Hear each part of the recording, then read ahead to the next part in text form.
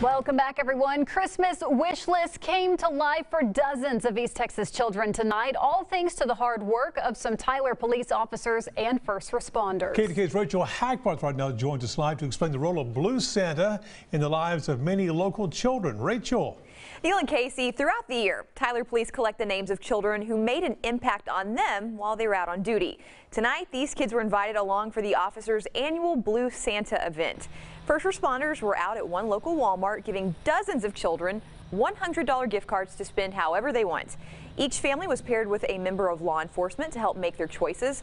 We spoke to officers leading up to tonight's big event, and they say sometimes it's not even toys that these kids want you'd be like, hey man, let's go shop, you know, let's go shop for some toys and uh, we're gonna have a good time. And you grab their little hand and y'all head down and all of a sudden he takes you to the pillow aisle and he's like, man, I want this. And it's like, dude, we got money for toys.